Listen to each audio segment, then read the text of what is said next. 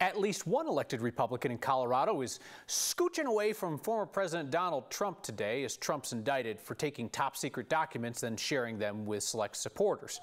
As Trump surrendered to U.S. Marshals in Miami, home to the runner up NBA not quite champion at Miami Heat, Congressman Ken Buck of Colorado announced a change of heart in how he feels about Trump's handling classified documents. I think the allegations are very serious. I, I, think there were national security implications from having documents in an unsecure area. Um, I think that the uh, uh, the prosecutor um, really went into a lot of detail to explain to the American public why it was necessary to indict uh, a former president. Previously, Congressman Buck had made excuses for why Trump had classified documents hanging out at his house. That itself was actually a change in heart on the topic for Buck because when Hillary Clinton was criticized over document handling, Buck was quite concerned.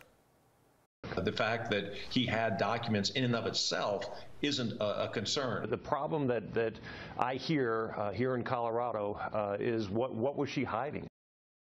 Buck's concern about the handling of classified documents extended from Clinton to President Biden when Buck called it deeply concerning that the president's lawyers found classified documents in Biden's private office, even though they then turned them over to the government. So, as they say, for those of you scoring at home and for those of you who are alone, Buck went from concerned to not concerned, back to concerned, but then stayed concerned.